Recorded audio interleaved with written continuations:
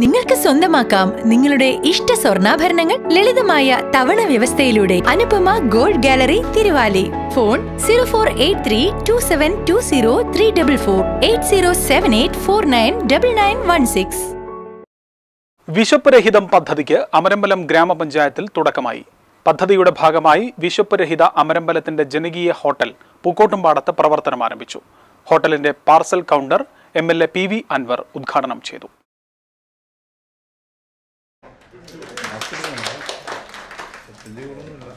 Corona വൈറസിന്റെ ഭീതിയിൽ നിന്ന് ഒരു പരിധിവരെ നമ്മൾ കേരളം രക്ഷപ്പെട്ടു നിൽക്കുന്ന ഒരവസ്ഥയാണ്.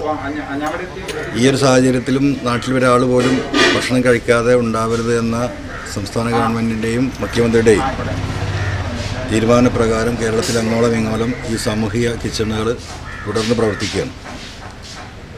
ഇവിടെ കുടുംബശ്രീയുടെ നേതൃത്വത്തിൽ ജനങ്ങൾക്ക് ആവശ്യമായ ഭക്ഷണം വളരെ ചെറിയ വിലക്ക് കൊടുക്കത്തക്ക രീതിയിലുള്ള ഒരു ഹോട്ടലും സാമൂഹിക കിച്ചണും സംയുക്തമായി ഇവിടെ പ്രവർത്തനം തുടങ്ങിയാണ് ചെറിയ വിട്ടുവീഴ്ചകൾ സംസ്ഥാന ഗവൺമെന്റ് ലോക്ക്ഡൗണുമായി ബന്ധപ്പെട്ട് പ്രഖ്യാപിച്ചിരിക്കുകയാണ്.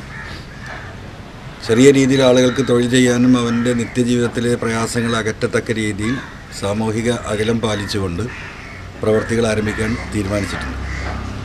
ഏതായിരുന്നാലും ഇന്ന് ലോകം മുഴുവൻ ഈ വലിയ പ്രതിസന്ധിയെ മറികടക്കാൻ പരിശ്രമിക്കുമ്പോൾ അതിന്റെ ഒന്നാം ഘട്ടം ജനങ്ങളുടെ പിന്തുണയോടും സഹായത്തോടും കൂടി നമ്മൾ മറികടന്നിരിക്കുകയാണ്.